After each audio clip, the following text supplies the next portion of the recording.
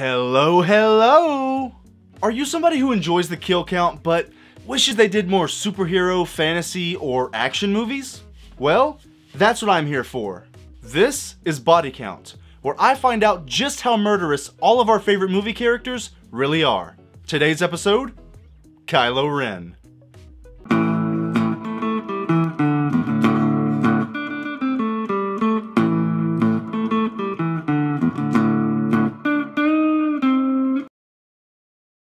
If you've ever wondered how many people Kylo Ren has either knocked out or killed on the big screen, well this is the place for you.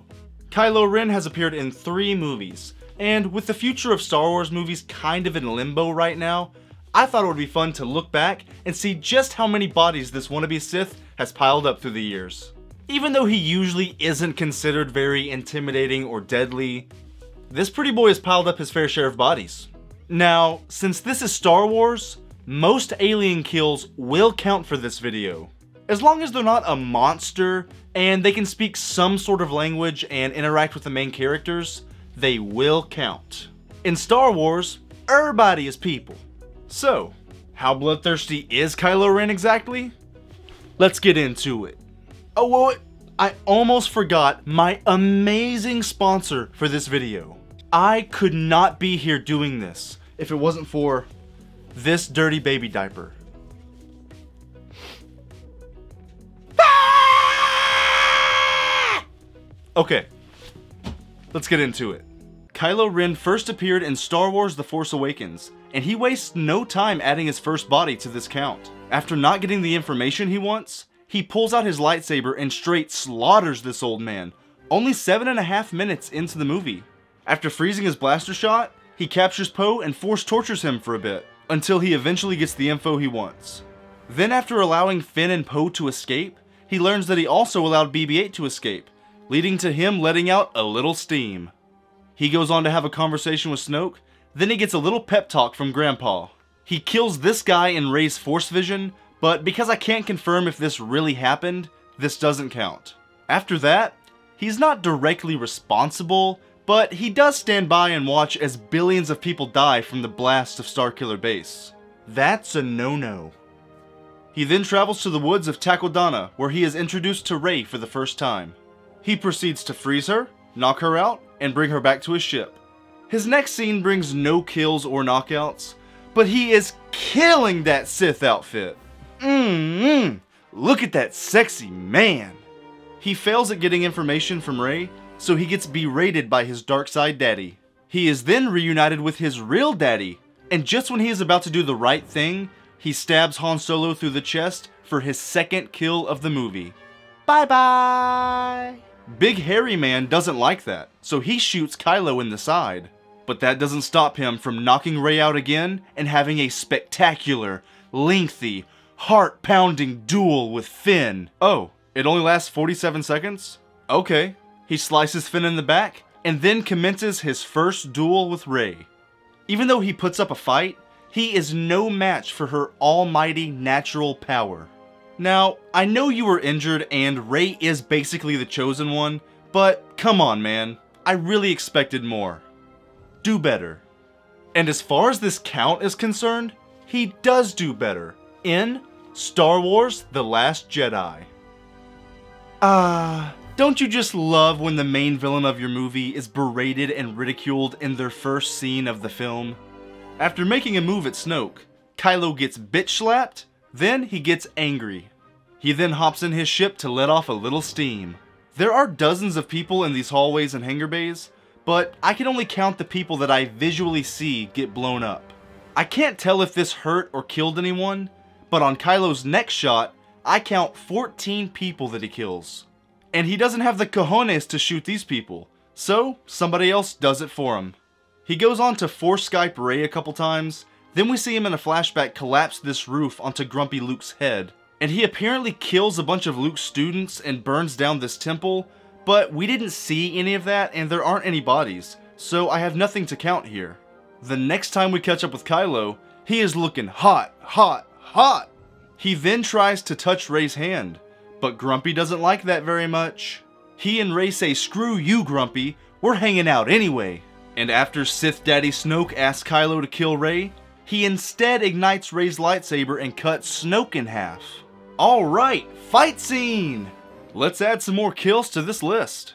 I can't really tell what happens here, but I think he smacks this guy's knife into this other guy. He falls limp, so I'm counting it. He throws this guy, then gets a nice stab to the chest on this one. He follows that up by slicing this guy's head in half. He slices this guy in the chest, then leaves his lightsaber stuck in this guy's face. And then he finishes the scene with his coolest kill yet. Through the face! He and Rey then play tug of war with Anakin's lightsaber, eventually splitting it in half. He then wakes up and travels down to Crait to finally put an end to the resistance.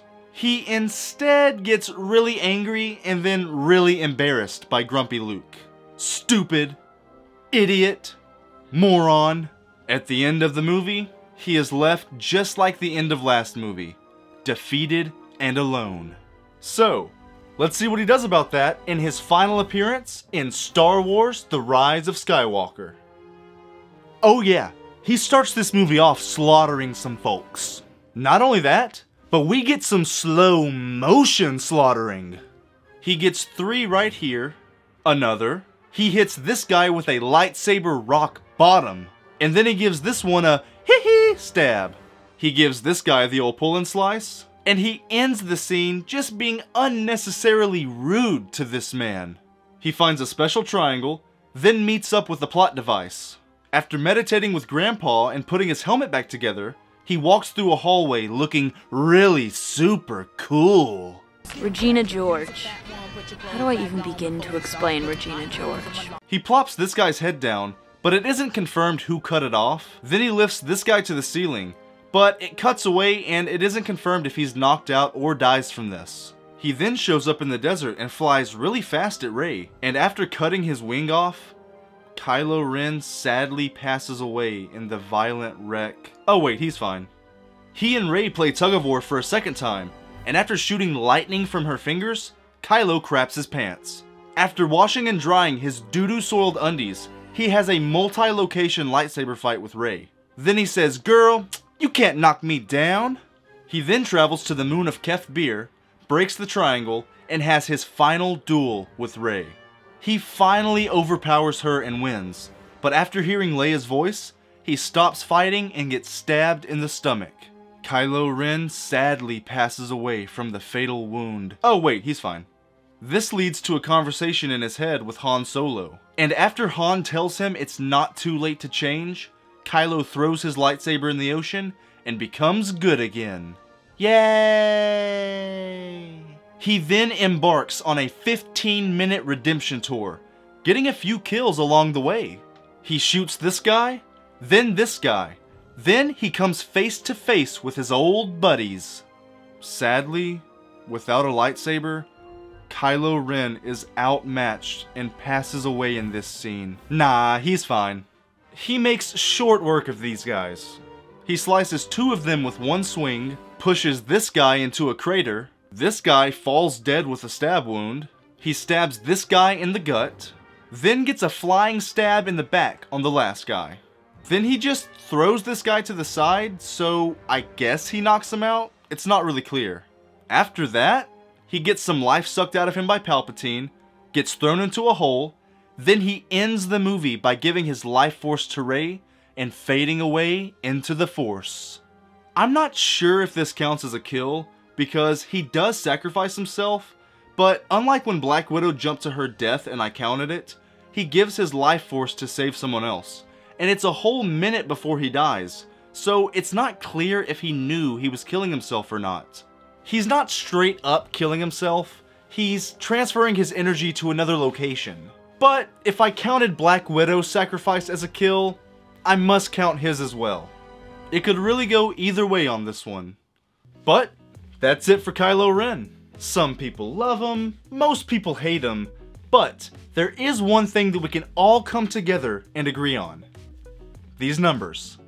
In his three appearances, Kylo Ren has totaled 40 kills and 5 knockouts. That's about 13.33 kills per movie and about 1.66 knockouts per movie. It may be a little more or a little less, depending on how you count that hangar scene and if you count his sacrifice as an actual kill. These are the numbers for his individual movies. He had the most kills in The Last Jedi, and the least amount in The Force Awakens. And he had the most knockouts in The Force Awakens, and the least amount in the other two. So, that's it for this one. Those are the numbers. Kylo Ren actually had a nice amount of kills for only being in three movies. But what did you think? Did you think he'd have more? Did you think he'd have less? Do you not care at all about this? Let me know in the comments.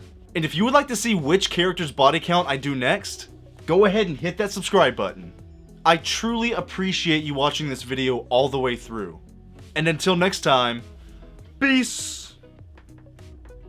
Hey! If you like this video, and you want to see more of my ridiculous content, check out one of these. Maybe you'll enjoy yourself, or maybe you'll watch it and crap your pants. Click one and let's find out.